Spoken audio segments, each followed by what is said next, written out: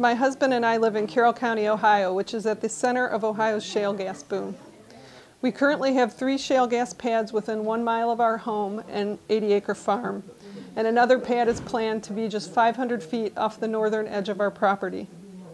As a master's prepared nurse practitioner with postgraduate education, I try to keep abreast of peer reviewed studies regarding the health effects associated with shale gas operations.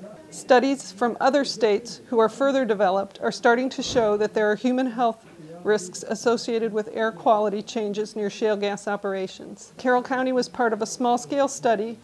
This study, published in a peer reviewed journal in April of 2015, indicated similar fugitive emissions of methanes and PAHs. I therefore support the EPA's proposed emission changes as a minimum next step and request that these rules immediately be applied to all existing oil and gas operations.